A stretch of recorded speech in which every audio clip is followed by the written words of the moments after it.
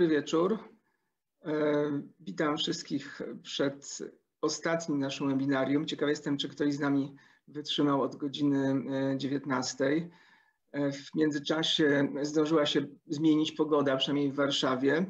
Jest zimno i, i deszczowo, ale mam nadzieję, że w naszym, naszym tutaj gronie nocnych bibliotekarek, bibliotekarzy jest ciągle dobra pogoda. Natalia mówiła o tych problemach związanych e, z trudnością odpoczywania od pracy online, o, o, tym, że większość tych naszych spotkań jednak ma taki charakter zadaniowy, nie ma przerw, w trakcie których piło się kawę i rozmawiało o różnych ciekawych rzeczach. My ostatnio próbowaliśmy w trakcie różnych spotkań realizowanych w programie Erasmus, gdzie ból jest straszny, bo od roku nie możemy nigdzie wyjeżdżać, spotykać się, E, robiliśmy sobie wspólne przerwy lunchowe z posiłkiem, z muzyką. E, jakoś próbujemy sobie z, tym, z tą sytuacją e, poradzić. Ja też niedawno słuchając profesora Pyżalskiego, który właśnie relacjonował te badania dotyczące nauczycieli, uczniów i rodziców, zacytował jedną z nauczycielek, która powiedziała, proszę pana, ja nie pracuję z domu, ja mieszkam w pracy. To pracy zdalnej nauczycielki. Mówiliśmy o różnych formach kontaktu z naszymi użytkownikami, E, było w mediach społecznościowych, podcastach, mailingu, newsletterach. E, no a teraz jest z nami Paulina Milewska, która będzie mówiła o tym, co jeszcze możemy zrobić, żeby zaangażować e, użytkowników online. Jak miałbym ją przedstawiać, to wobec tego, że wielu tutaj naszych poprzednich prowadzących wspominało o swoich pasjach rowerowych, to bym pewnie musiał nazwać królową bibliotecznego cyklizmu, bo jest twórczynią i propagatorką projektu Odjazdowy Bibliotekarz. E, oprócz tego jest też oczywiście bibliotekarką pracującą w, e, obecnie w Centrum Informacyjno-Bibliotecznym Łódzkiego Uniwersytetu Medycznego, e, ale też działaczką Fundacji Fenomen, no i właśnie fenomenalnej biblioteki, czyli jakby takie dwa, dwa zaangażowania e, i stypendystką Ministra Kultury i Dziedzictwa Narodowego w tym roku. Także bardzo Cię zapraszam, Paulino, na to ostatnie webinarium. Dziękuję Ci, Jacku. E, witam Państwa wszystkich bardzo serdecznie. E, cieszę się niezmiernie, że o tej porze jeszcze się tutaj e, wszyscy razem widzimy i już pozwólcie Państwo, że przełączę sobie ekran, żebyście Państwo widzieli moją prezentację. E, tak jak zapowiedział Jacek dzisiaj o angażowaniu. Dzisiaj będzie o angażowaniu i to, co ja dzisiaj dla Państwa przygotowałam jest też w takiej nieco innej formie. E, przyznam szczerze, że pierwszy raz w takiej formie będę prowadziła spotkanie, webinarium online. Mam nadzieję, że wszystko się uda i też od razu uprzedzam, że ponieważ rozmawiamy dzisiaj o angażowaniu, jak klikać, żeby zaangażować, e, no to takiego zaangażowania będę wymagała od mojej dzisiejszej publiczności, no czyli właśnie od wszystkich zgromadzonych przed komputerem, którzy dzisiaj mojego webinarium e, słuchacie Państwo. Także proszę się przygotować na to, że będzie też prośba o aktywność mm, z Państwa strony. Jaki jest na dzisiaj plan? Ambitny, ponieważ mamy pół godzinki, a ja postanowiłam pokazać Państwu trzy narzędzia, które można wykorzystać właśnie do angażowania e, online, do przeróżnych działań e, bibliotecznych. Będzie to Padlet, Mentimeter i e, Wheel of Names, ale zanim do tego przejdziemy, E, to jeszcze Państwu powiem, co się dzisiaj będzie działo. Ponieważ chciałabym te narzędzia pokazać od zaplecza, ale chciałabym też, żebyście mieli e, szansę po prostu z nich skorzystać, to króciutkie wprowadzenie. Kiedy ja zostałam zaproszona um, do, do tego dzisiejszego projektu, do tej nocy bibliotek, nocy webinariów, no to zaczęłam się zastanawiać, jak w tak krótkim czasie taki duży temat tak naprawdę zrealizować. No i kiedy zastanawiałam się e, właśnie nad tym, co tutaj począć, no to podreptał do mnie, przydreptał pewien czworonożny czarny mój przyjaciel. I ja Wam dzisiaj tego przyjaciela jeszcze przypomnę, pokażę. On sobie wygląda, e, wygląda tak. Będzie nam to potrzebne do dalszej części dzisiejszego spotkania.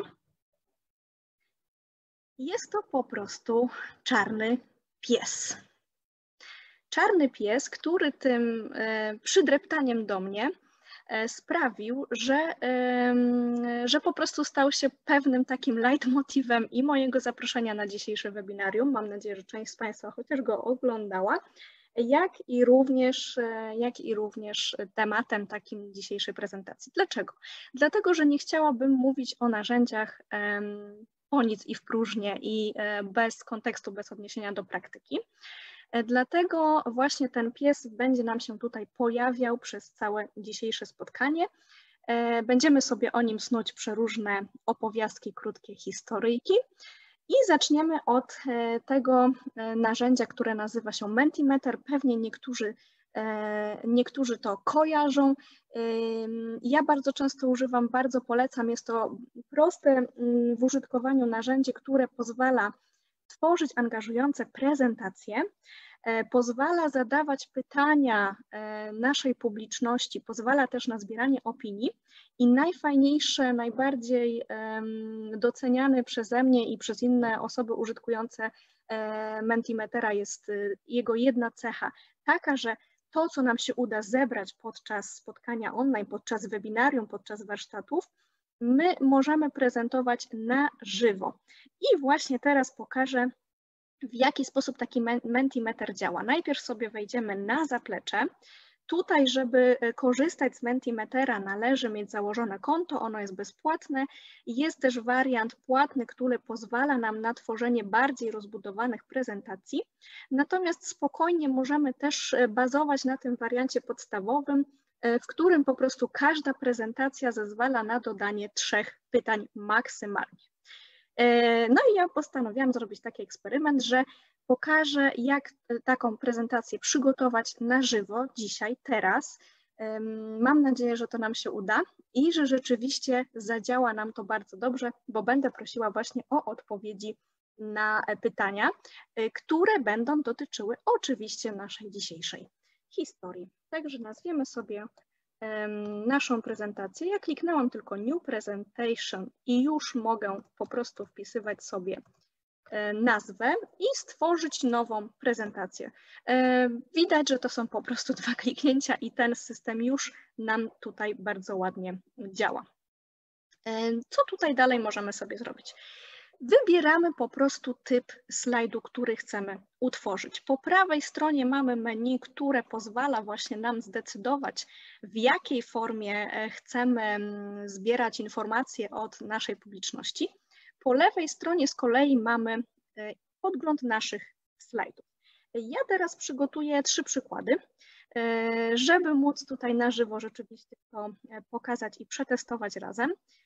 Wybiorę jeden z takich popularniejszych typów open-ended, czyli pytanie otwarte. I teraz proszę zobaczyć, co się stało. Ja już na moim slajdzie mam co? A no właśnie, mam już typ pytania, który sobie wybrałam i bardzo ważna rzecz tutaj na górze, która się pojawia, to jest kod do mojej prezentacji. Unikalny kod, który będzie prowadził wszystkich tylko i wyłącznie do tego jednego miejsca w sieci, które ja utworzyłam e, i ja sobie tym zarządzam. No i teraz wpisuję tutaj, proszę zobaczyć, e, po prawej stronie e, pytanie. Pytanie brzmi, jak myślisz, jakiej rasy jest ten czarny pies. Przed chwilką e, widzieliśmy tego czarnego psa. I to będzie pierwsze nasze, nasze pytanie w ankiecie. I to już jest e, praktycznie tyle. Ten slajd jest już gotowy, pytanie jest gotowe. Co jeszcze mogłabym sobie wybrać, to jest typ prezentacji odpowiedzi, czyli mogą to być tak zwane speech bubbles, czyli takie pojedyncze chmurki z odpowiedziami. Mogę to prezentować też w postaci pojedynczych odpowiedzi jedna po drugiej, albo w postaci takiego um, przepływającego ekranu, który zawiera wszystkie odpowiedzi zmieniające się na bieżąco. Wybiorę ten ostatni typ i pozwolę również na to, aby e, uczestnicy aby uczestnicy również tutaj, o widzę, że już, że już są szybsi ode mnie i już weszli tutaj odpowiedzi, już widać, proszę zobaczyć, e, jak fantastycznie działa Mentimeter. Ja zaplanowałam jeszcze dwa slajdy po to, żeby pokazać jeszcze inne możliwości. Więc za chwilkę jeszcze sobie wrócimy do odpowiadania, natomiast na ten moment ja dodam taką fajną opcję jak skala. E, bardzo to lubię, bo e, rzeczywiście super to wygląda na żywo. Znowu od razu mam dodany nowy slajd i tutaj po prawej stronie e, i tutaj po prawej stronie znowu mogę sobie dodawać moje pytania. I następne pytanie brzmi, w jakim stopniu te zdania pasują do, zgadujemy, czarnego psa. E, skala pozwala nam na to, aby dodać kilka możliwych odpowiedzi. E, możemy na przykład sobie tutaj dodać, że pasuje do tego psa lub też nie pasuje, bo to będzie już po stronie e, uczestników. Mm, cechy przeróżne, które możemy na przykład do takiego naszego czarnego pieska dołożyć. Mogą to być y, dowolne odpowiedzi i możemy ich też dodać bardzo dużo. Także tutaj spokojnie y, w momencie, kiedy ten limit trzech na starcie wykorzystamy, spokojnie klikamy add another i dodajemy sobie kolejne, mm, kolejne odpowiedzi. W skali ważne jest jeszcze to, aby zjechać na chwilkę niżej i tutaj sobie też dopasować to, co mamy po bokach, czyli możemy sobie dopasować tutaj do naszego pytania, że na przykład nie pasuje to określenie do tego naszego bohatera, albo bardzo pasuje. I ta skala 1 e, mówi, że nie pasuje, 5 bardzo pasuje to sformułowanie. Y, znowu widzę, że już tutaj niektórzy odpowiadają i już to y, troszkę na wykresie widać. Ja za chwilkę jeszcze to powiększę, tylko dodam ostatnie pytanie, ostatni typ, jaki na dzisiaj też zaplanowałam do pokazania, bardzo y, popularny, czyli chmura, która będzie nam właśnie pokazywała wszystkie odpowiedzi. I tutaj możemy takie pytanie sobie zadać dowolne. Ważne, aby określić, ile odpowiedzi może wpisać jedna osoba. No ja na przykład zezwolę na 5 i też pozwolę na to, aby wielokrotnie takie odpowiedzi podawać. Zachęcam do tego, aby te osoby, które jeszcze nie miały okazji tutaj sobie weszły na menti.com, tu u góry mamy to powtórzone, czyli wchodzimy. Ja byłam na stronie mentimeter.com, od zaplecza dodawałam przed sekundką te pytania. Natomiast teraz serdecznie zapraszam do tego, aby wejść na stronę menti.com e, i właśnie użyć kodu. E, czy na smartfonie, czy na jakiejkolwiek, e, na jakimkolwiek urządzeniu możemy taką stronę menti.com sobie otworzyć i pierwsze co trzeba zrobić to wpisać kod 34 80 27 2. I to jest, to jest kod, który właśnie kieruje dokładnie do tej mojej ankiety, którą przed chwilką przygotowałam, do tej mojej prezentacji. I na żywo widać te odpowiedzi. E, co jest tutaj fajne? E, po pierwsze, mamy od razu wgląd w to, co uważa nasza publiczność, jaka jest najczęściej padająca odpowiedź, w jaki sposób w ogóle tutaj osoby podchodzą do tematu. I na dole też tutaj w prawym dolnym rogu mamy od razu informację, która mówi o tym, ile osób bierze udział w tej ankiecie. E, I to, ten typ, który tutaj ja prezentuję, możemy użyć w bardzo, bardzo wielu sytuacjach. Możemy to użyć jako takie otwarcie, powiedzmy, spotkania. Możemy po prostu zapytać, z czym dzisiaj przychodzicie e, na przykład na nasz warsztat online, tak? To tak naprawdę mm, jest tutaj bardzo duża dowolność. Możemy poprosić o opinię na jakiś temat. E, możemy zapytać, e, jak się czujecie z wiedzą na dany temat. Możemy zapytać, jakie ostatnio książki czytaliście, co lubicie czytać. Spokojnie mm, do wielu, wielu sytuacji taka, mm, taka prezentacja nam się przydaje.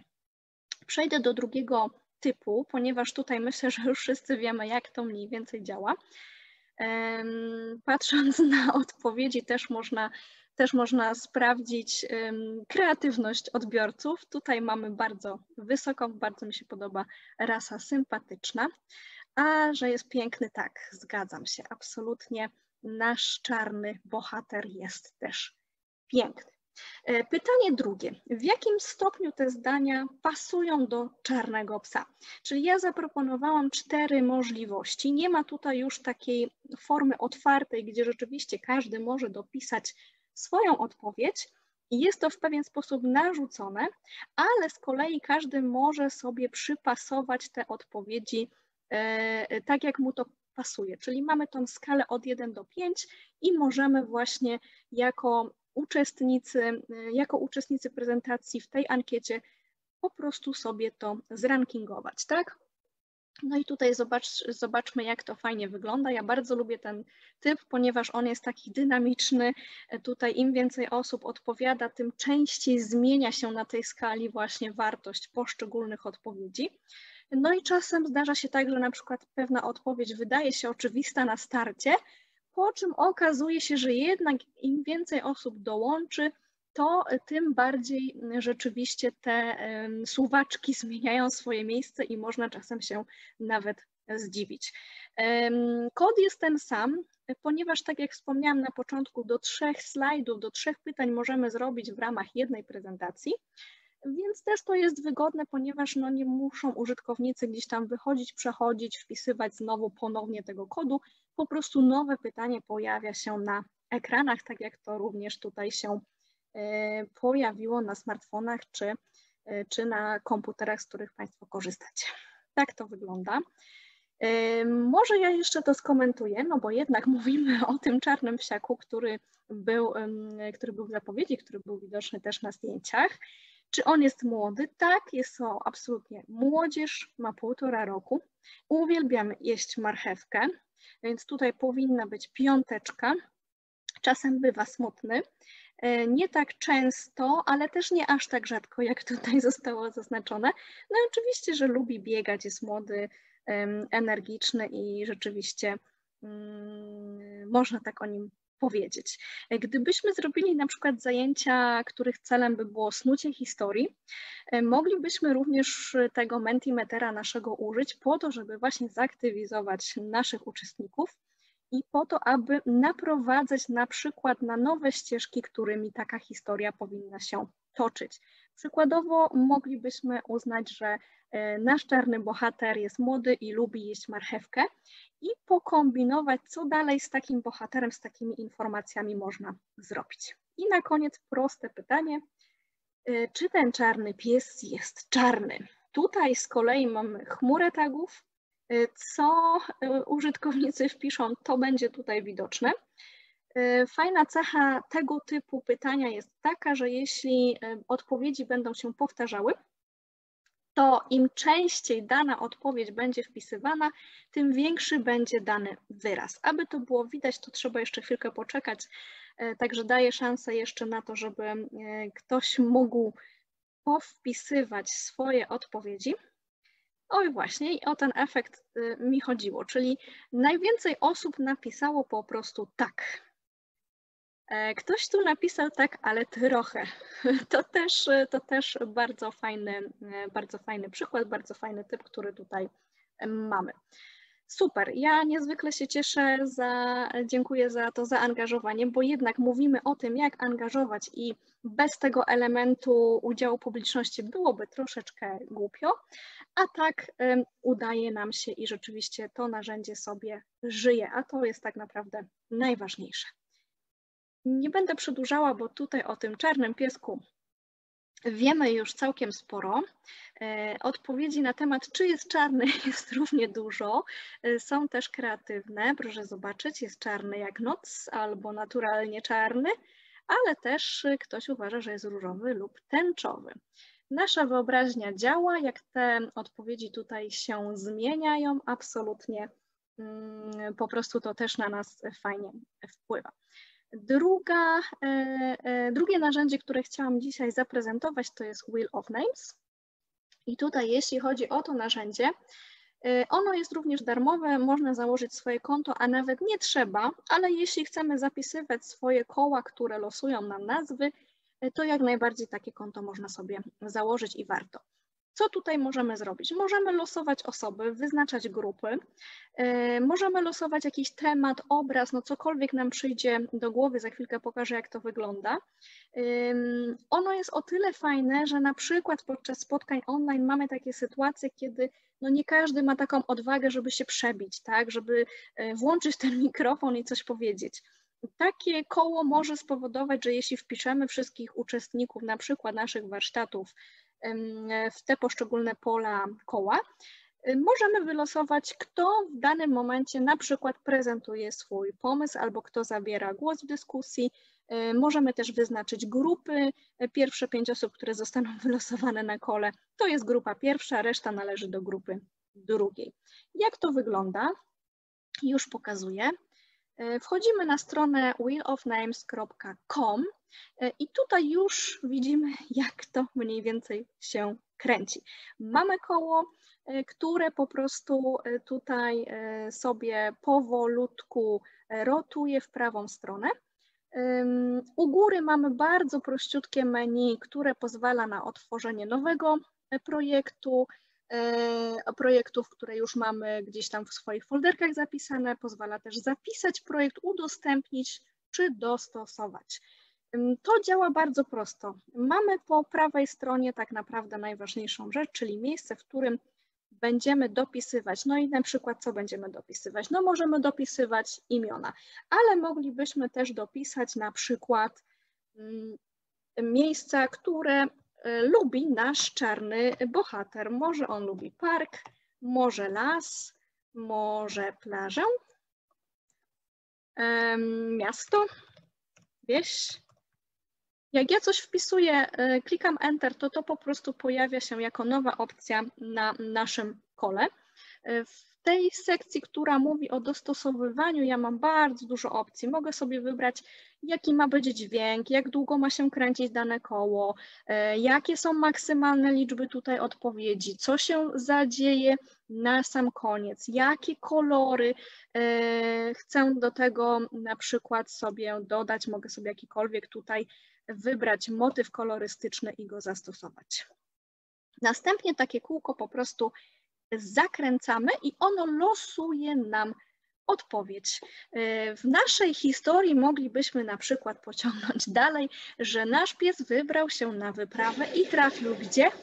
Trafił na wieś i kombinujemy, co dalej z taką informacją można zrobić.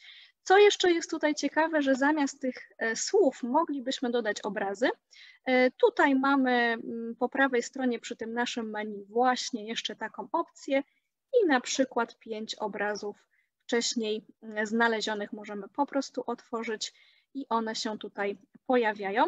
E, proszę zobaczyć, że w tym momencie no, trochę mam zduplikowane odpowiedzi, ponieważ mam je zarówno w wersji tekstowej, jak i obrazkowej, więc po prostu bym mogła usunąć teksty, zostawić same obrazki i to będzie działało w taki sam sposób. Co dalej z takim kołem? E, możemy zapisać, możemy też udostępnić, to jest fajna opcja. E, kontynuuj i tutaj też określamy, co z takim kołem będzie mogła zrobić osoba, która skorzysta z naszego linka.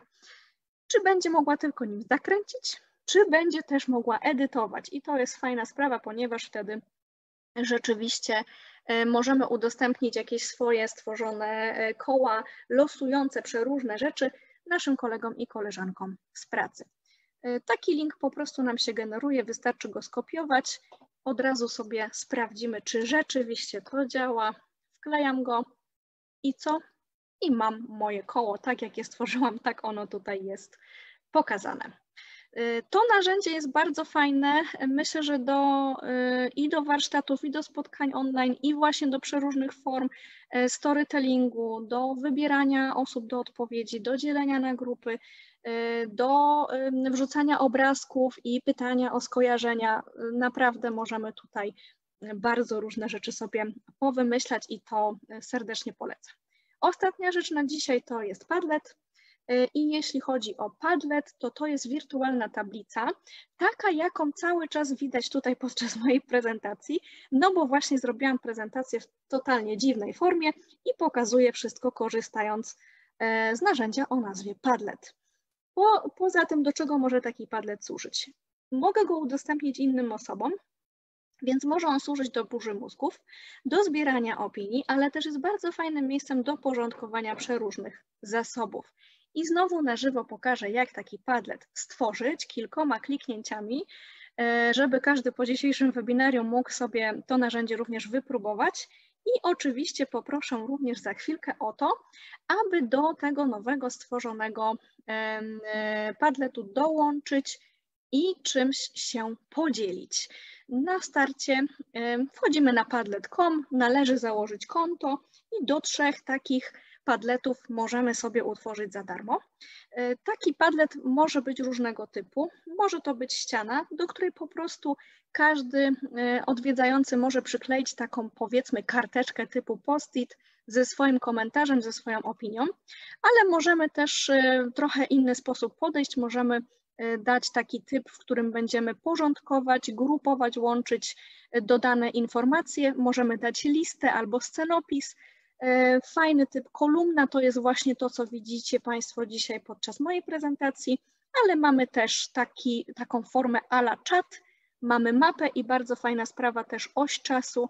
E, tu na przykład warto to wykorzystać do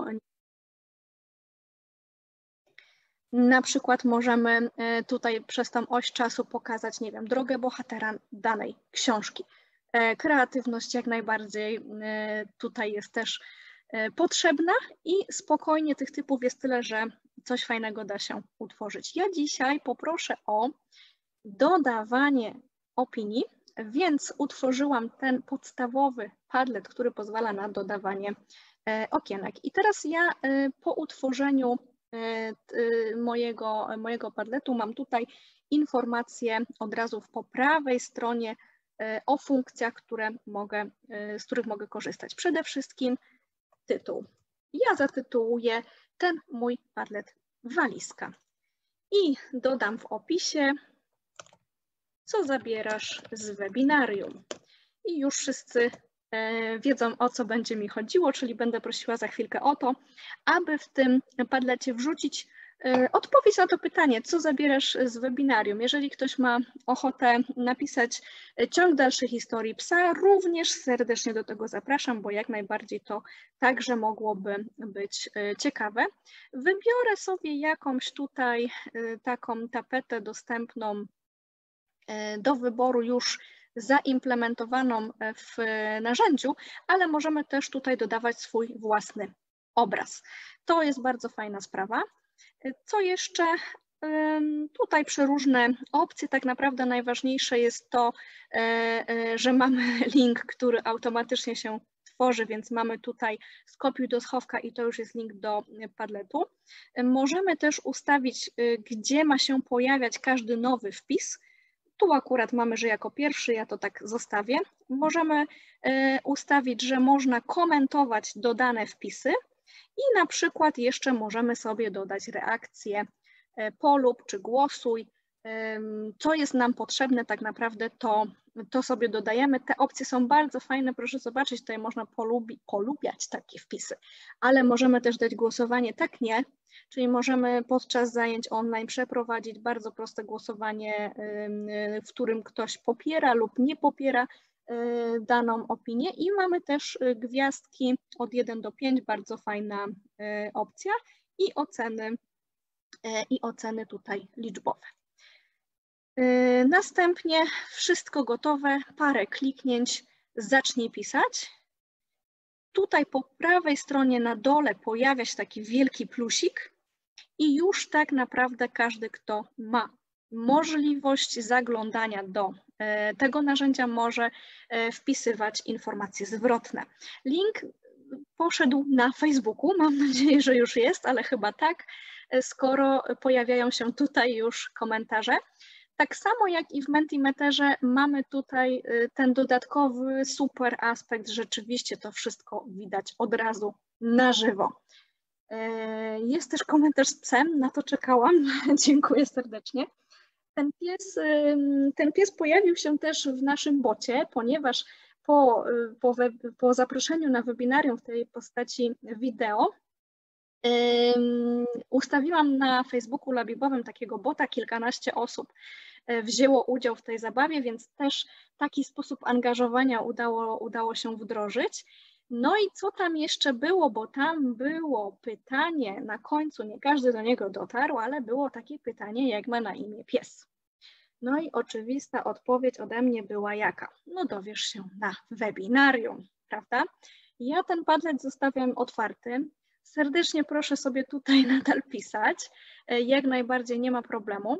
E, Padlet podstawowy ja również udostępnię i dodam w komentarzu do dzisiejszego webinarium, więc te wszystkie linki, które tutaj mamy, Mentimeter, Wheel of Names i Padlet będą dostępne. No ale muszę się wywiązać z tej obietnicy i teraz proszę zobaczyć, mam już na mojej tablicy padletowej stworzone pewne elementy. Każdy z nich ja mogę edytować i teraz proszę zobaczyć, co się stanie po kliknięciu w prześlij wybiorę sobie obrazek, on mi się ładnie już załadował. No i odpowiedź, czy czarny pies jest czarny? Nie do końca, bo ma jedną taką lekko rudą nogę. Poza tym odpowiedź dla wszystkich ciekawskich, pies ma na imię Kenobi. E, to oczywiście w ramach wywiązania się z obietnicy i pewnego zakończenia, podsumowania dzisiejszej naszej dyskusji. E, zaprezentowałam narzędzia, natomiast chciałabym bardzo, aby pamiętać, co też już się pojawiało w poprzednich, w poprzednich prezentacjach, technologia technologią, e, podoba nam się to wszystko, ale właśnie zróbmy jeden krok w tył, zastanówmy się, po co w ogóle używamy tych narzędzi, kogo chcemy zaangażować, żeby też dopasować te narzędzia do odpowiedniej grupy odbiorców? I dopiero jak to mamy zdefiniowane, to sobie odpowiedzieć na to pytanie jak. Ode mnie podpowiedzi trzy, używając e, narzędzi takich jak Mentimeter, Padlet albo Wheel of Names. E, I jeszcze takie jedno podsumowanie tutaj może mm, też e, ode mnie, ponieważ chciałabym się podzielić takim dobrem, które ostatnio do mnie trafiło podczas szkoleń.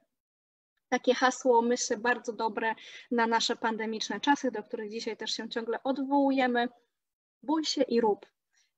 Czyli jednak idziemy, idziemy tą drogą, że rzeczywiście działamy, nie wycofujemy się.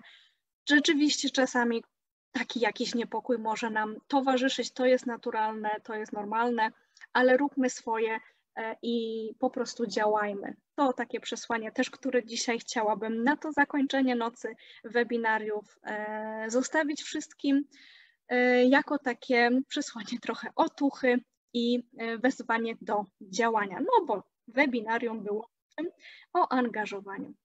E, dziękuję bardzo za uwagę, za to, że e, wszyscy dzisiaj jeszcze tak późno wytrzymaliśmy i za to, że intymność udało się zrobić. Ja jeszcze tutaj na sam koniec mam trudne zadanie. Tak, późno wytrzymaliśmy i za to, że Ponieważ zaczęło mi tutaj dołączać osoby. E, ok, jeśli wszyscy już jesteście, to się pokażcie.